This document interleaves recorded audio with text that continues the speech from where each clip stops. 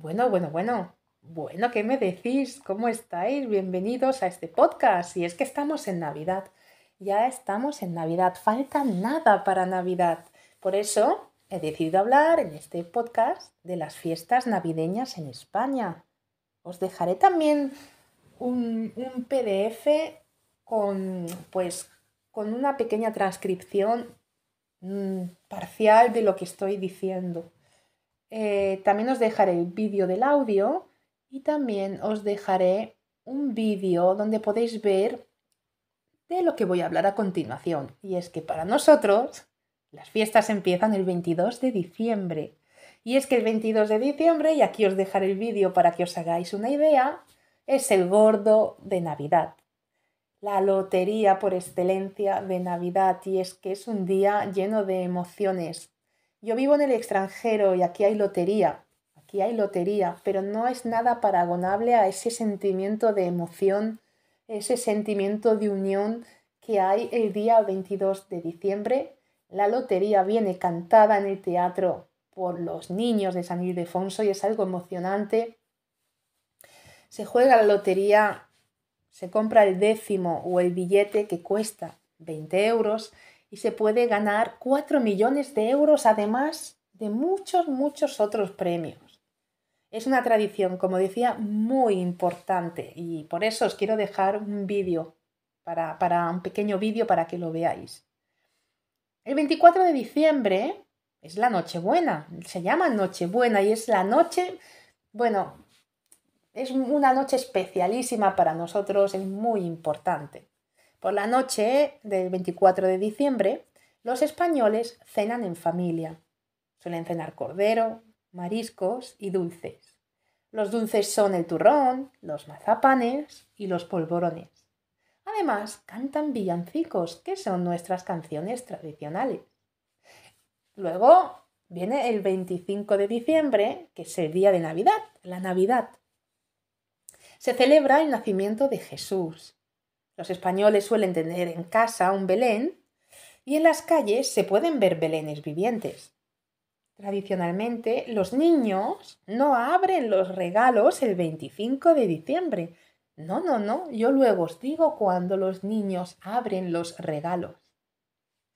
Pasamos al 28 de diciembre, porque el 26 de diciembre, San Esteban, en general en España no se celebra, aunque hay comunidades autónomas donde se celebra el 26. El 28 de diciembre, un día curioso, los santos inocentes, un día que tiene su raíz en un, bueno, pues en un acontecimiento muy dramático, cuando el rey Herodes mandó matar a todos los niños porque tenía que nacer el Mesías y él no quería. Eh, y de allí, pues se llama el día de esto precisamente, de los santos inocentes, pero es un día al contrario de ser triste, es un día de gastar bromas.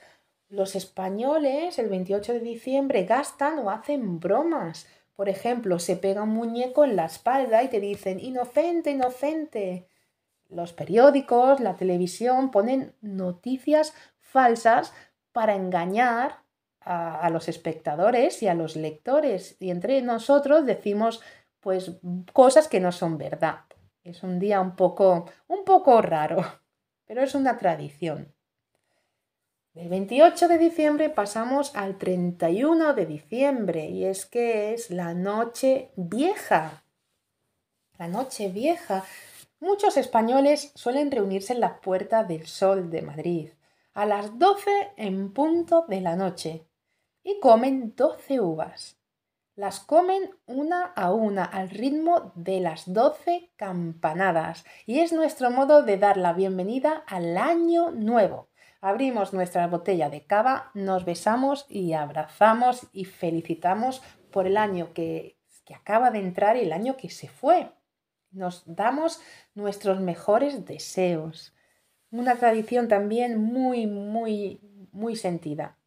Mucha gente, después de estar toda la noche de fiesta, bailando, cantando, bebiendo y comiendo, pues van a desayunar los churros. Y esto es una tradición que muchísima gente pues la mañana del día 1 de enero, que todavía no ha ido a dormir, van a comerse los churros.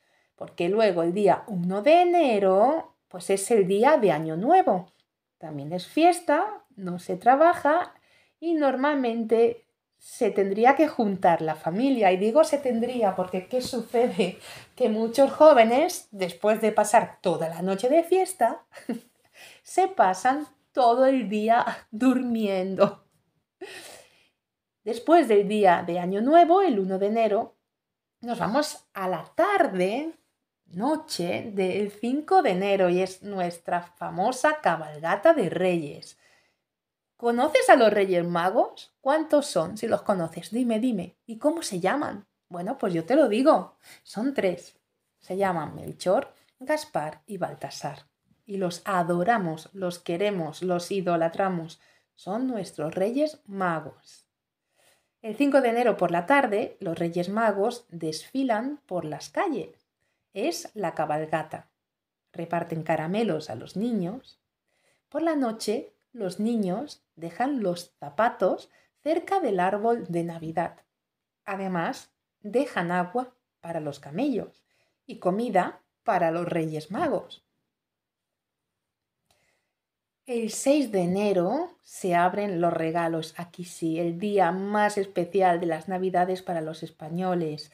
Se abre el 6 de enero por la mañana, los españoles abren los regalos que han traído nuestros queridísimos, amadísimos Reyes Magos, que todos les tenemos mucho cariño, nuestro Melchor, Gaspar y Baltasar.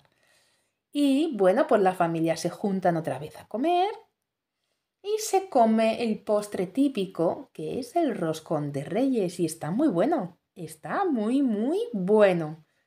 Bueno, hemos terminado por hoy este podcast.